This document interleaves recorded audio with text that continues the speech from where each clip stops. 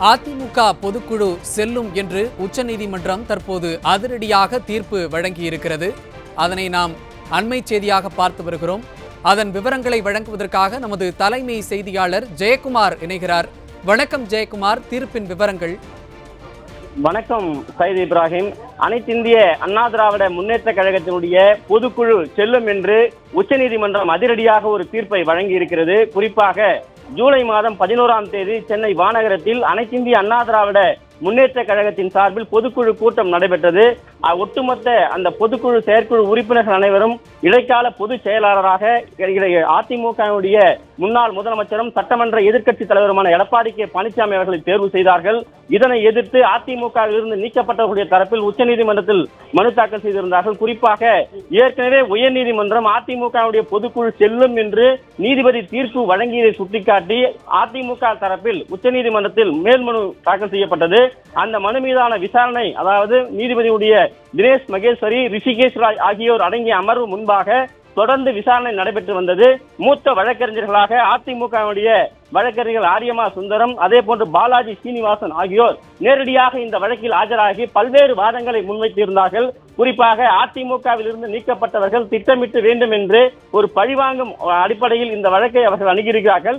ஏற்கனவே உயர்நீதிமன்றம் அதிமுகவுடைய பொதுக்குழு செல்லும் என்று தீர்ப்பு வழங்கியிருக்கிறது. அப்படி இருக்கிற பொழுது ஒட்டுமொத்த செயற்குழு பொதுக்குழு உறுப்பினர்கள் இடைக்கால பொதுச் செயலாளராக எடப்பாடி கே. பழனிசாமி அவர்களை ஏற்றுக்கொண்டிருக்கிறார்கள். இந்த நிலையில் பொதுக்குழுவில் கொண்டு வரப்பட்ட தீர்மானங்களும் அந்த பொதுக்குழுவும் செல்லும் என்று அதிரடியாக உச்சநீதிமன்றத்தினுடைய நீதியரசர்கள் இரண்டு பேர் அடங்கிய அமர்வானது தீர்ப்பு வழங்கியிருக்கிறது. குறிப்பாக இது ஒரு முக்கியத்துவம் வாய்ந்த ஒரு தீர்ப்பாக பார்க்க முடிகிறது ஏற்கனவே இரட்டை இலை சின்னத்தை பெறுவதற்காக தேர்தல் ஆணையத்தை அணுகி ஒட்டுமொத்தமாக அதிமுகவுடைய செயற்குழு பொதுக்குழு உறுப்பினர்கள் தொண்ணூத்தைந்து சதவீதம் பேருடைய ஒப்புதல் கையெழுத்துக்களை பெறப்பட்டு அதிமுகவுடைய நாடாளுமன்ற உறுப்பினரும் முன்னாள் அமைச்சருமான சி வி சண்முகம் தேர்தல் ஆணையத்தில் அந்த படிவங்களை கொடுத்திருந்தார். அதனுடைய அடிப்படையில் ஈரோடு கிழக்கு சட்டமன்ற தொகுதியினுடைய இடைத்தேர்தலில் அதிமுக இரட்டை இலை சின்னம் ஒதுக்கு இருக்கிறது.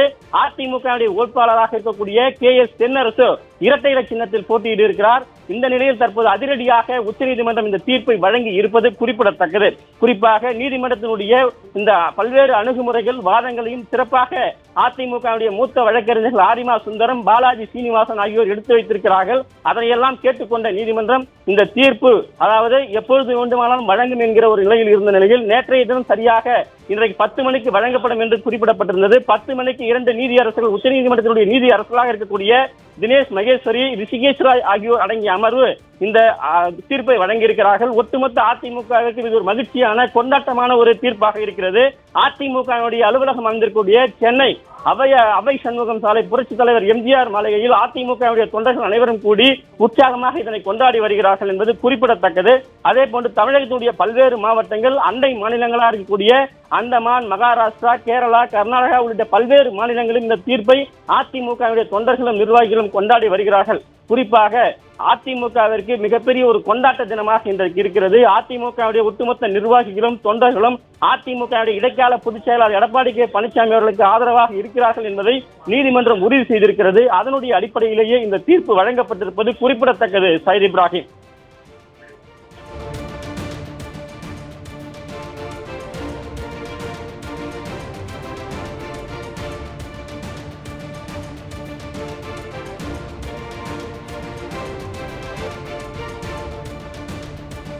ஜெயக்குமார் இதனைத் தொடர்ந்து அடுத்த கட்ட நடவடிக்கையாக கட்சி சார்பாக எதெல்லாம் எதிர்பார்க்கலாம்? விவரங்கள் ஜெயக்குமார். கண்டிப்பாக சைத் இப்ராஹிம் அதாவது அதிமுகவுடைய ஒற்றை தலைமை வேண்டும் என்கிற அந்த கோட்பாட்டில் அதிமுகவுடைய ஒட்டுமொத்த ஒன்றரை கோடி தொண்டர்களுடைய அந்த கனவு நனவாகி இருக்கிறது என்றுதான் சொல்ல வேண்டும். குறிப்பாக இரட்டை தலைமை இருக்கிற போது ஒரு மிகப்பெரிய தமிழகத்தில் இருக்கக்கூடிய எதிர்க்கட்சியாக செயல்படக்கூடிய ஒன்றரை கோடி தொண்டர்களை வைத்திருக்கக்கூடிய கட்சிக்கு மிகப்பெரிய சவால்களாக இருக்கக்கூடிய இருக்கிறது. பல்வேறு முடிவுகளை எடுக்கிற பொழுது இது பெரிய தாக்கங்களை ஏற்படுத்துகிறது. எனவே ஒற்றை தலைமை வேண்டும் என்கிற அதிமுகவுடைய அடிப்படை தொண்டனுடைய கோரிக்கை இன்றைக்கு உச்சநீதிமன்றம் நிறைவேற்றி இருக்கிறது. அதற்கான ஒரு தீர்ப்பாகத்தான் இந்த தீர்ப்பை பார்க்க முடிகிறது. இனிமேல் அதிமுகவுடைய ஒவ்வொரு செயல்பாடுகளும் தீவிரமாக முன்னெடுக்கப்படும். ஏற்கனவே கடந்த காலங்களில் இடைக்கால பொதுச் செயலாளராக இருந்த போதும் சரி தமிழக முதலமைச்சராக இருந்தபோதும் சரி பல்வேறு திட்டங்களை நிறைவேற்றுவதில் இடைக்கால பொதுச்செயலர் எடப்பாடி கே பழனிசாமி அவர்கள் சாதுரியமாக தனது அரசியல் பயணத்தை நகர்த்தி சென்று கொண்டிருக்கிறார். அப்படிப்பட்ட ஒரு விஷயமாகவே இன்றைக்கு தொண்டர்கள் கொண்டாடக்கூடிய ஒரு தீர்ப்பாக பார்க்க முடிகிறது. அதிமுகவிற்கு இது ஒரு மிகப்பெரிய ஒரு முக்கியத்துவம் வாய்ந்த வரலாற்று சிறப்புமிக்க ஒரு தீர்ப்பாகவே இதனை பார்ப்பது குறிப்பிடத்தக்கதாக இருக்கிறது. குறிப்பாக இன்றைக்கு உச்சநீதிமன்றம் அப்படிப்பட்ட ஒரு தீர்ப்பையே வழங்கி இருக்கிறது பல்வேறு வாதங்களை அதிமுக தரப்பில் எடுத்து வைக்கப்பட்டிருக்கிறது.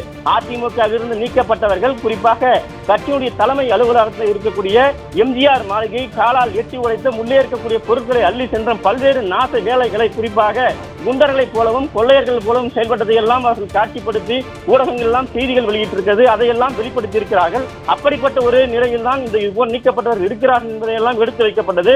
குறிப்பாக ஒட்டுமொத்த அதிமுக பொதுக்குழு செயற்குழு உறுப்பினருடைய கோரிக்கை இன்றைக்கு உச்சநீதிமன்றம் நிறைவேற்றி இருப்பது குறிப்பிடத்தக்கது சைதி இப்ராஹிம்.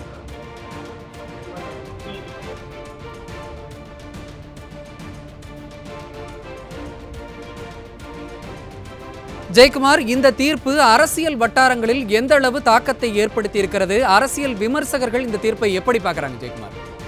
கண்டிப்பாக சைது இப்ராஹிம் தர்மத்தின் வாழ்வுதனை சூதுக்கவும் தர்மம் மறுபடியும் வெல்லும் என்கிற கூற்றுக்கு இணையாக இன்றைக்கு உச்சநீதிமன்றத்தினுடைய நீதியரசர்கள் ரிஷிகேஷ் ராய் அதே போன்று தினேஷ் மகேஸ்வரி ஆகியோர் அடங்கிய அமர்வு அதிரடி தீர்ப்பை வழங்கி இருக்கிறது குறிப்பாக அதிமுகவில் இருந்து நீக்கப்பட்டவர்களுக்கு ஒரு கொட்டு வைத்திருக்கிறது.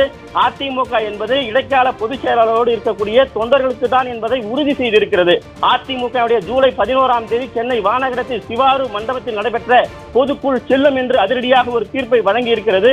அப்படிப்பட்ட தீர்ப்பு என்பது ஒட்டுமொத்த தமிழகத்தில் இருக்கக்கூடிய ஒன்றரை கோடி அதிமுகவுடைய நிர்வாகிகளுக்கும் தொண்டர்களுக்கும் ஒரு மகிழ்ச்சியான ஒரு தீர்ப்பாகவே பார்க்க முடிகிறது. குறிப்பாக இந்த தீர்ப்பு என்பது அதிமுகவிற்கு மிகப்பெரிய ஒரு வரப்பிரசாதமாகவும் அவர் உச்சகட்ட ஒரு மகிழ்ச்சியும் கொண்டாட்டத்திலும் ஈடுபடுத்தியிருக்கிறது. அப்படிப்பட்ட ஒரு தீர்ப்பாகவே தொண்டர்கள் பார்க்கிறார்கள்.